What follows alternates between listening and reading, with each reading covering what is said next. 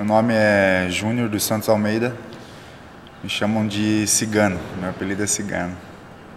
Cigano é uma pessoa que não tem muita parada assim, viaja muito. É um maluco assim.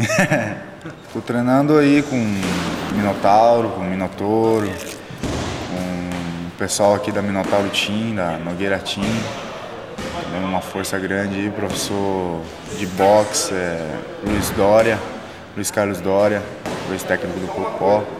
Cresci em Santa Catarina, uma cidade chamada Caçadores, interior de Santa Catarina. É, com 19 anos eu fui para Salvador, onde eu, eu trabalhei lá por dois anos e foi onde eu comecei a treinar também com o professor Yuri. Quando eu cheguei lá, eu trabalhei num restaurante eu lavava prato no restaurante, aí passei a passar carne, fazer serviço de passador, coisa.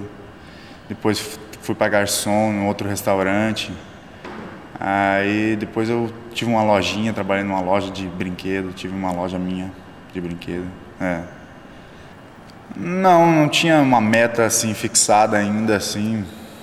Eu não, não tinha nada é, previsto para o meu futuro. Eu comecei a treinar em abril de 2005, com 21 anos. Jiu-jitsu. Tem, vai fazer quatro anos agora que eu treino. Só? Só. Muito pouco, mas é, desenvolvi bem. Graças a Deus me, me saí muito bem aí treinando. Eu já tinha feito capoeira quando eu era mais novo, mas isso quando eu tinha 14 anos de idade. E fiz pouco tempo, seis meses, coisa assim.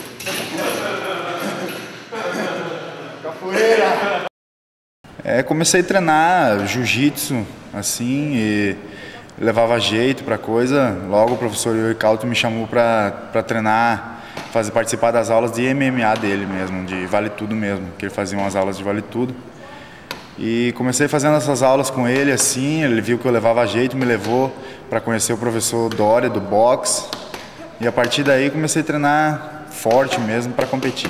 É, assim, eu encontrei, me encontrei assim como lutador. Eu gosto do que faço, não faço por dinheiro, eu faço do que gosto. Tanto que comecei fazendo, não tinha apoio nenhum e estou fazendo até hoje porque encontrei assim uma profissão para minha vida. Gosto muito de fazer isso. Sempre firme ainda meu objetivo, que é um dia ser campeão de um grande evento como esse que eu participei.